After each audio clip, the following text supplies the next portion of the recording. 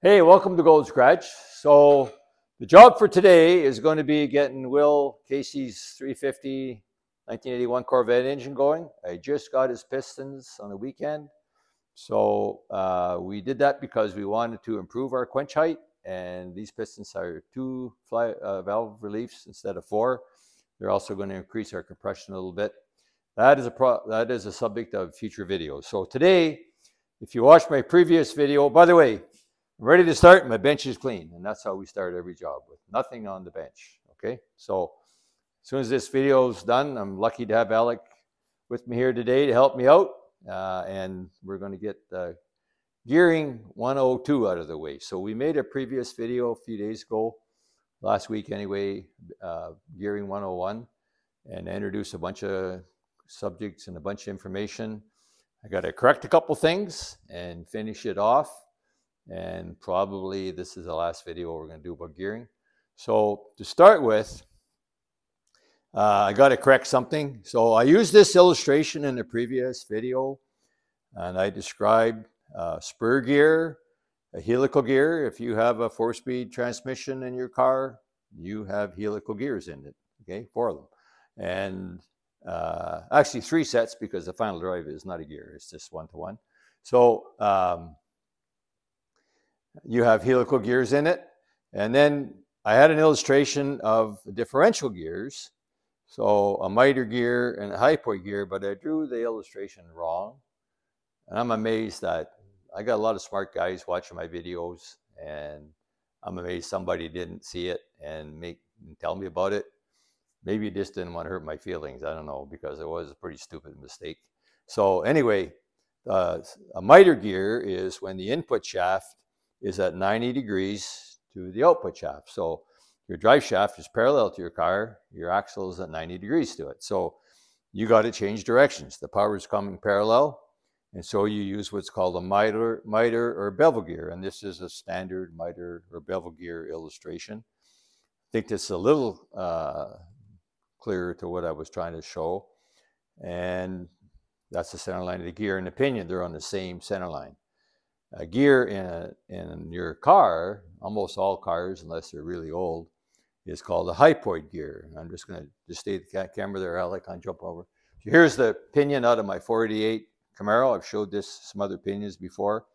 It's obviously a very, very complicated gear. So a hypoid gear, there's where your pinion goes, and the ring gear is in the other direction. The difference between it and a miter gear is the center line of the input shaft is a different center line than the center line of the output shaft. So uh, that gets your drive shaft lower in the car. Why do they do that? They do that to get your car down on the ground because if it had to be on the same center line, your car would have to be that much higher off the ground because you need room for your transmission. You have to have uh, an angle in your drive shaft, usually about four degrees, and that makes sure those little needle bearings in your universal joint keep turning. So you need four degrees of an angle. And there's other reasons for that, by the way, as well. So that's the hypoid gear. So all, pretty much all, and that's the subject of today is hypoid gears. So uh, I wanted to correct that. And thanks very much for those who probably noticed it and were nice enough not to tell me. So I appreciate that. So uh, what I'm going to do today is finish off the installation of the uh, differential for you and then come back and cover off a few other points that I think are, are worth noting and answer a few questions that I've had on my channel. Before I forget, please like and subscribe. Uh, we're doing good. Our channel's growing. We're pretty happy with it, and uh, we think it can get a lot bigger. We're working hard to make uh, good videos for you.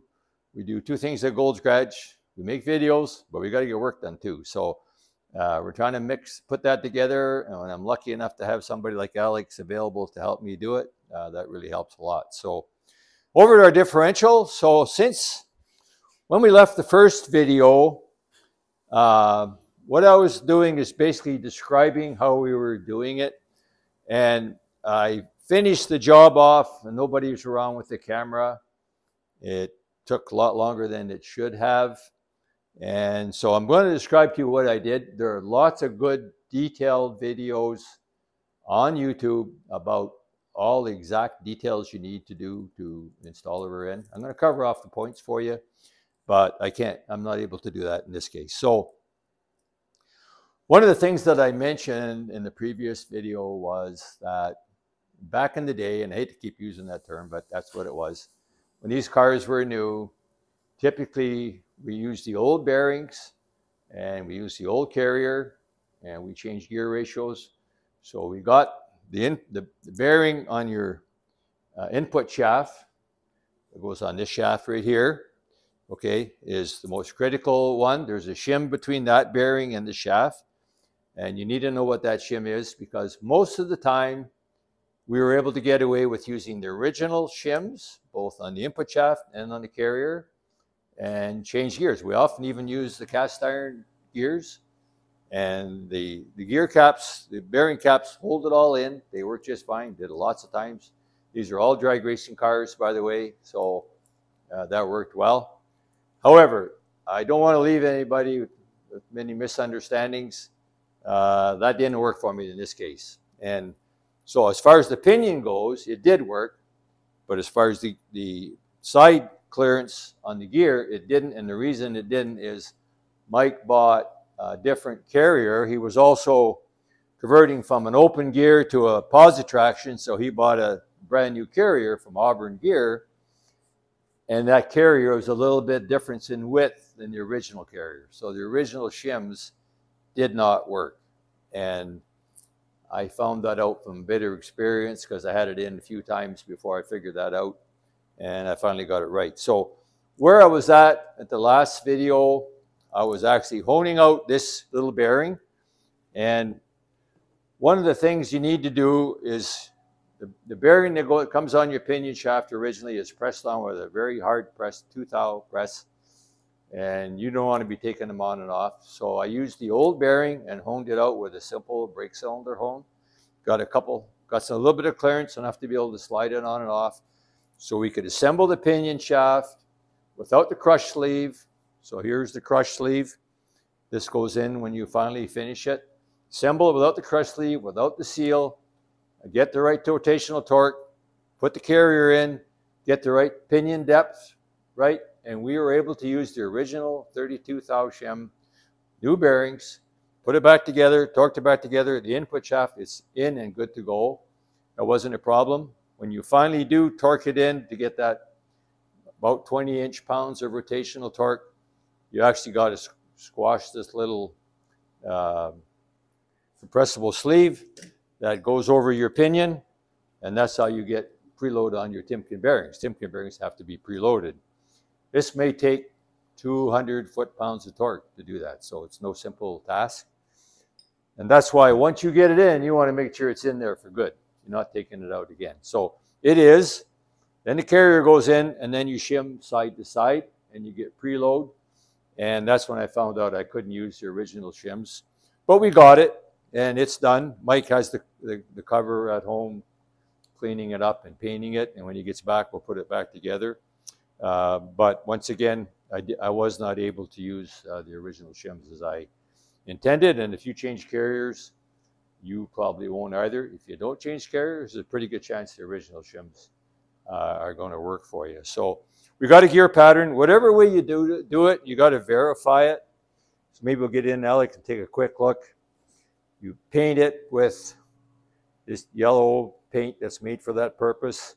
This is actually the coast side. Hard to see the drive side from here. But you paint it and make sure you got a pattern.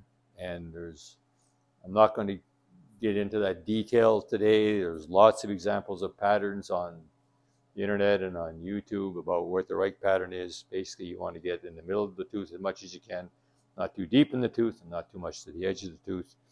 And so that's done and it's ready to go. So hopefully I covered that off. Any more questions, uh, please let me know. Uh, before I forget, we do have a tip of the day coming. Um, somebody that watches my videos named David Callahan said, no pressure, but I would like to see a picture of your car when it was back in the day or new. So, so in 1969, I didn't even have a camera. We never took pictures of anything. We didn't have cell phones back then, right, guys? So if you wanted to take a picture, you had to have an Instamatic camera, take the film to a developer, buy the film, get the developer. It was expensive, time consuming, and not like it is today. So, fortunately, my late brother in law did take one picture of it for me and gave it to me. So, this is my 68 Camaro on the drag strip. If you look closely, it's an Ontario 1969 license plate. And back in the day, what they did was, if you look closely, you can see the drag strip sign or whatever it was. So obviously I was in the left lane. So what they did then, we used white shoe polish to put the number of the car on the windshield and the class. So this was called E-Stock. So David, you asked for a picture of my car back in the day. There it is. So that's the best I have. I cherish that picture because it is the only one uh, that I have. So let me cover off a couple more things that I didn't uh, cover properly last time. I had M21 versus M22 transmission. This is the so-called rock crusher, and I described why they call it that in the video. I didn't even have M20 on there. So it's a really important thing to understand. M20 transmission, uh, same architecture as an M21 transmission, only uh, wide ratio. So it had a 2.52 to 1 first gear. M21 had 2.2 to 1 first gear. So close ratio transmissions, in Z28s at least, were designed for road racing. So they wanted them close because they didn't care about coming off the line. They just wanted to have the minimum RPM drop between shifts. And that's why they use close ratios. So if you ordered a car uh, from GM, and I think it's true whether it's a Chev or a Pontiac or an Oldsmobile, if it had a 355 or lower numerical number, then you got an M20 transmission. If it had a 373 or higher numerical number, you automatically got an M21 transmission. And in 1970, they come out with the M22, the so-called rock crushers. I described that in the past. Uh, they have less helix angle to reduce the thrust, and they're actually thicker gear, thicker teeth on the gear. They're less teeth per inch of pitch diameter, and so that makes them stronger as well. So I covered that off. I think I covered 10 bolt versus 12 bolt. I mentioned Ford 9 inch, and uh, somebody commented, the subscriber commented, what about the Mopar rear end? They made a Dana rear end, which is also probably as strong. Uh, they were used actually in dragsters back in the day very commonly and a lot of other drag racing type cars. And lots of details about picking a gear ratio um, as well. So I think that covers off changing the rear end. Once again, there's lots of detailed videos about how to do that, but try to bring out some simple points that'll save you some time. Um, and so I'm going to get to the tip of the day. I think I've covered everything else off. Oh, before I forget, yes, go to my cheap cheat notes here. Uh, I've had Bill Little on some of my videos in the past. Every time I have Bill on the video, the comments are, give me more stuff with Bill. So we're going to do that. Uh, Bill is a local uh, guru that builds probably the best drag racing engines anywhere in this area anyways. And we've been to his shop. He has a flow bench. He has a cam doctor. And so this Saturday, Bill is going to dyno an engine that belongs to Tim Blyde from St. Thomas. He's a drag racer. It's a 565 cubic inch big block Chevrolet engine. It's going to make more than 800 horsepower on the dyno. So if you like watching my four or 500 horsepower engines on the dyno, you're going to love this. Uh, I'm going to go, Alex is going to come with me and help me video it. I'm going to interview Bill. He's going to describe the engine for you. Interview Tim, give you all the details, watch it on the dyno and watch the master at work trying to squeeze out the last horsepower from that 565 cubic inch engine. It's going to be pretty exciting. So everybody likes dyno videos, and this is going to be one that's probably the most exciting one I've ever done. But I'm not really in charge of this one. I'm just going to be doing the narrating it basically. So, so tip of the day. Uh, talked about uh, one of my previous videos, I talked about the guys that design these engines use slide rules. And now you have calculators, right? Or computers, okay? So what the heck is a slide rule? So this, uh, Roland Cron actually was nice enough. He saw the video and he brought me a slide rule. And I looked around, I thought I had my old slide rule from back in the day, but I could not find it. So this is a slide rule. So when I was going to college, there were no calculators, there were no computers. Everything was done by slide rule. And I actually forgot how to use it. I, I was able to playing around, get adding, subtracting, multiplying, or sorry, doesn't add, subtract, multiplies and divides. I, got, I was able to do that and um, get it working. And it wasn't until into the well into the 70s before calculators came along. So if you're not old enough to remember that, the first calculator cost a lot of money, I think around $100. And all it could do was add, subtract, multiply, and divide. Use four AA batteries that lasted about two hours and they were done. So big difference, but can you imagine guys designing these engines this way? And even in education, the amount of time that we spent on our slide rules getting to the answer where you get to it almost automatically now with computers. So that is a slide rule. So thought I would show you that. I did forget one thing when I was doing gearing, I mentioned that we never ever changed carriers. And so this prompted me to remember that. So if you buy GM, and there's differences in all the differentials, but I happen once again no GMs. So there's a three series carrier and a four series carrier. So if you have any gear ratio in the three numbers, uh, you have one carrier. And so what happens is as the gear ratio gets higher numerically, this is a 488, the pinion gets smaller, it gets farther away from the gear. So how do you fix that? The right way to fix that, you buy a four series carrier. In 1970 or 69, are you kidding? We never bought anything like that we would use the same carrier and use this is a Mr. Gasket spacer. They come out of my 488 rear end when I took it apart in 2015 or 16. I put in a 1969. It worked just fine.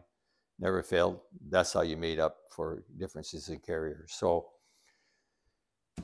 cover that off.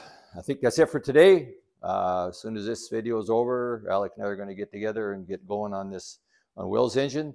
Thank you for watching my videos. Please like and subscribe. Thank you very much.